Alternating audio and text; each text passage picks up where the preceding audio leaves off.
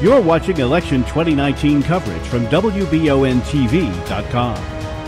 Democratic candidate for state auditor Chris Tobe says he is no stranger to the office as he was hired decades ago to work for former Kentucky state auditor Ed Hatchett out of the private sector. Tobe says he was hired to work on the state pensions, which is a critical and contentious issue that continues to this day. He continues, saying that the office should not have any partisan leanings and that there needs to be change in the office which led him to throw his hat in the ring for the May primary.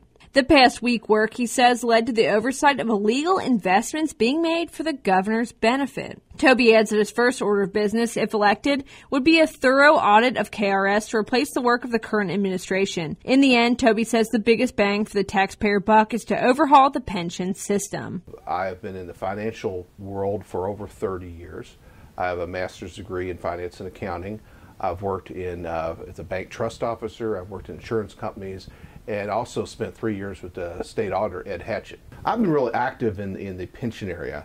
Uh, for, for, a long, long time. I served as a trustee for four years on the Kentucky Retirement Systems Board.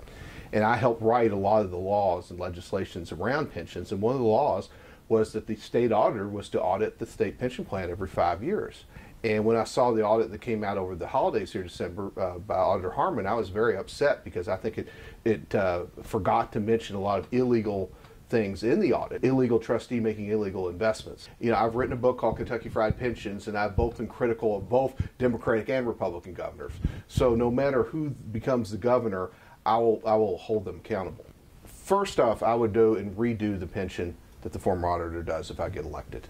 And we would go in and bring a lot more transparency into the audit process the investments, the things we have a lot of offshore investments in the Cayman Islands, hedge funds that I do not think are legal, and I'm going to shine some light on those. There's also a method of which uh, the the board at Retirement Systems has forced assumptions down that has become a big burden on state and local governments. You ha- you have to do the statute, what we call the statutory part of the job which is the county audit division and the state audit division. So the county audits, you do you go and you they alternate years between the different county offices, and though there's a there's a full time professional staff who's doing that.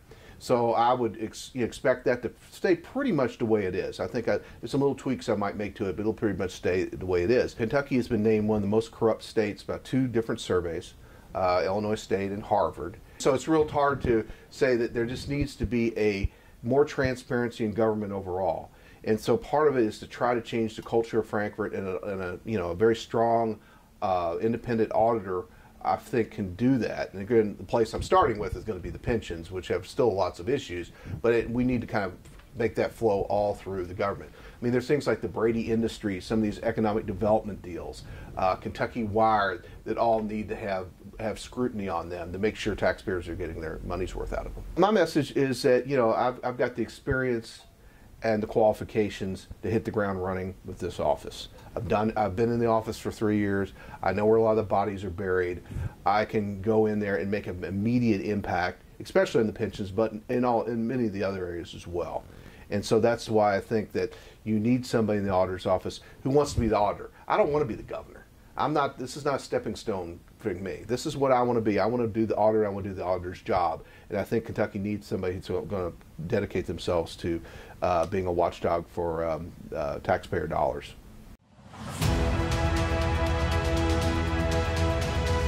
You're watching election 2019 coverage from WBONTV.com.